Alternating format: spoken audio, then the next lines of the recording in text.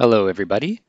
I'm pleased today to share with you what is new in the Building and Civil Structures design application in the 2022X FD02 release.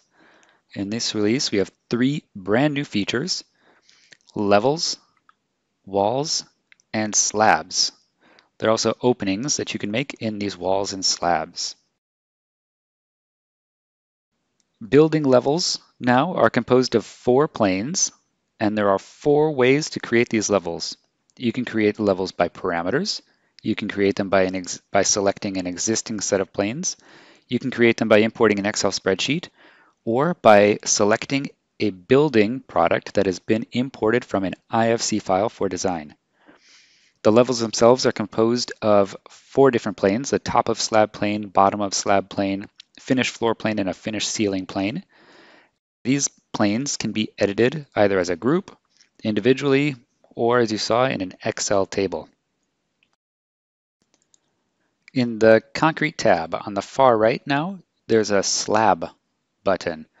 This slab can be created from an individual plane or a level set, and it takes in either a closed boundary curve or a volumetric boundary to create the profile of the slab. So wherever there's an intersection with the plane and that exterior boundary, it will create a slab. Slab openings are created from either a curve or a volume and the intersections will be computed automatically.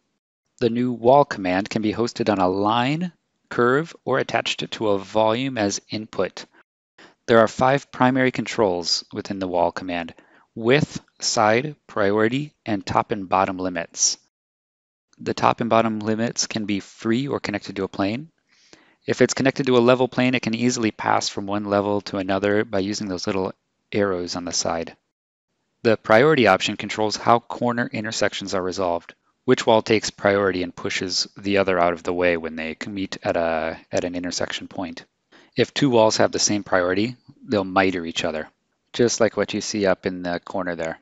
Once you've created a wall, you can always go back and edit it as you see here, changing the priority or the positioning relative to the base curve. Wall openings function just like slab openings. If, if you have a volume and a curve, it will automatically find a wall that it's uh, connected to to cut through it, or you can specify additional walls if you want to cut multiple walls with the same curve. These new wall features can be grouped and instantiated as power copies, opening up a world of automation potential. If an object type is present in the database, here's an example of one that I created to automate the framing of walls, you can attach it directly within the wall feature dialog box. So here, let's edit some walls and add that object type. We'll search for it in the database, select one, and if the object type contains a UDF, it will automatically be instantiated into the model, and all of the parameters that have been declared within the UDF will be available in the dialog box for editing.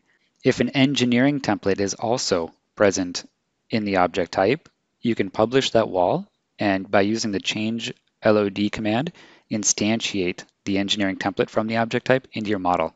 The resulting geometry in this video isn't much more detailed than the UDF, but in reality, that engineering template would contain all of the information necessary for manufacturing and construction. So with that, I hope you're as excited as we are about these new features and the capabilities. With object types and component-based design, you see you're able to easily go from a concept level of detail model to the construction twin, and we know that this is going to save massive amounts of time for, for those who have built up your catalog of object types. Thank you again for watching and best of luck with the new 2022 X FD02 release.